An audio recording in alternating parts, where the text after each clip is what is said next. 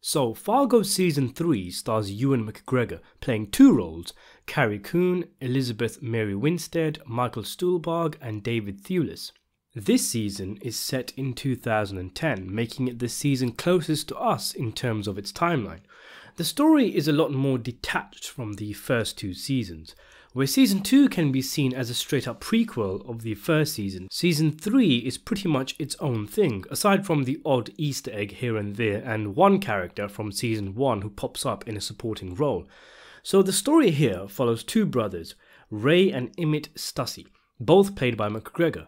Emmit is a successful businessman who has a cagey relationship with his younger brother.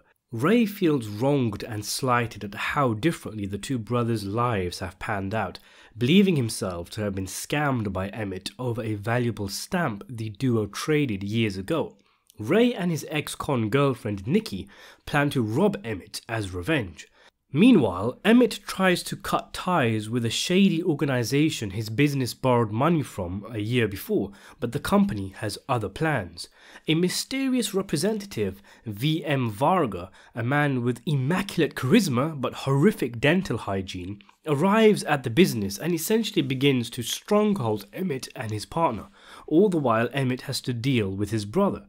Meanwhile, policeman Gloria Burgle investigates the murder of her stepdad, a murder which entangles the lives of all the principal characters.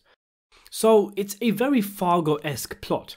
It has all the staples of the series. In fact, the plan in the opening episode with Ray telling an ex con to rob his brother, but the man who he hires ends up at the wrong house with disastrous consequences, is as Fargo as it can possibly get. With that being said, my overall thoughts on season 3 were that it was alright. It was okay. It was an ordinary season of Fargo, and because it followed two very strong seasons, there is a whiff of disappointment in the air. It lacks that pop, that whiz, and those little nuanced moments.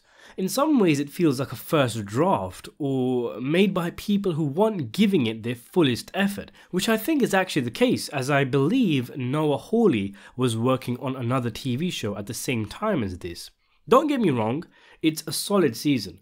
The issue I have is that it just doesn't compare to the first two seasons, which were far more engaging. In fact, a lot of this season is covering ground already covered.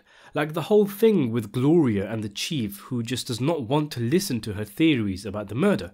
Didn't we already see a relationship like this in the first season with Molly and Saul Goodman? I liked this season. As with the previous two, the characters are interesting, especially that weirdo Varga, and it's intriguing seeing them all mix and the storylines intertwine. But I'm trying to articulate why I can't help but feel a little underwhelmed. And one thing that comes to mind is that I don't think this necessarily warranted 10 episodes.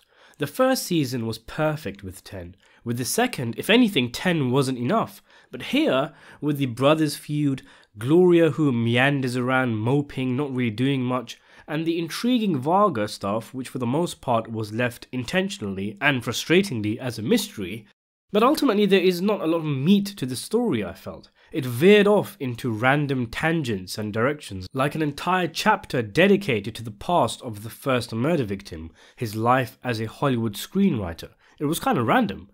If there ends up being 10 seasons of Fargo, I think this one will end up somewhere in the middle. Solid, thumbs up, but ultimately gets lost in and amongst the many better seasons. It wasn't as funny as previous seasons. It felt rather dry, aside from Varga's appearances, who I thought was hilarious. There's not a lot of colour either, and the cinematography isn't as creative as it has been previously. At times, you might think you're watching a standard crime mystery that airs on the BBC, not the absurdist modern day classic that is Fargo.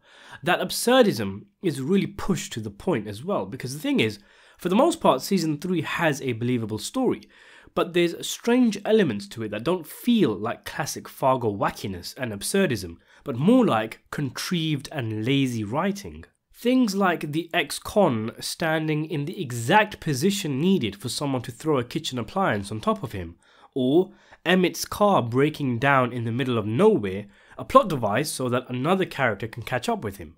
At the end of the scene, he gets into his car and drives away, with his car magically repaired. Another time, a character said to be shot in an elevator Spider Man's his way on top of the elevator and then seemingly vanishes. There's a lot of things like this, where, yeah, I suppose you could chalk it up to the randomness of life, the stranger than fiction like nature of the show, but it's really starting to feel like the writing is starting to suffer. I mean, we've had UFOs on the show, and I found that a lot less problematic than some of the stuff in this season. See, the thing is, most movies and TV shows made to entertain but to make you ponder need to work on two levels. They need to work at the base level, entertaining the viewer, and the deeper level, where they make you think, Martin Scorsese is a master at this, which is why he's such an artsy filmmaker, but still so mainstream. You can watch The Wolf of Wall Street as a sex, drugs, and rock and roll extravaganza, which it is at its base level, but you could also look at it as a critique of capitalism, consumerism, materialism, and many things Scorsese was taking shots at. It works on both levels. Fargo is the same. But here in season 3, it leans too far heavily into the deeper themes without enough emphasis on the baseline stuff. Don't get me wrong, I love all that. My entire channel is dedicated to deeper themes and looking at the meaning behind character decisions and all that kind of stuff. And that stuff in season 3 was good. But where other seasons worked on both levels, here I feel as purely as a piece of entertainment, Fargo season 3 is a little dry and flat. When it comes to the themes and commentaries, it is on absolute fire. The surrealism takes off and never quite lands back again. The season, for example, is dedicated to the question of reality and truth. What does it mean for something to be real? Does it need to have actually happened or to be believed as actually happening? It's all a matter of perspective, as one character says. There's a big emphasis on storytelling. Characters tell stories to each other. We are told a story in one animated segment. One of the victims was a novelist, and during the part where it says, This is a true story, the last word to disappear is story. There's a lot said about globalization, about uh, legality versus morality, perception colliding with reality. I don't think it's a coincidence that the season is set shortly after the 2008 financial crash. Gloria goes around the entire show not doing anything, a first for Fargo, where the main cop is usually front and center to keep the show grounded with all the weirdo characters, but she's just kinda there. And again, I know it works thematically. She's basically the robot in the story. She says as much. The way in which she feels invisible in the modern world is relatable, but it isn't a lot of fun. So clearly, there's a lot to analyze and unpack in this season, and it seems intent on subverting your expectations, but it sacrifices entertainment for exploration of its themes, and there's a faint aura of the writers ever so slightly starting to enjoy the smell of their own farts like the bowling club scene, perhaps the most esoteric scene in the entire series.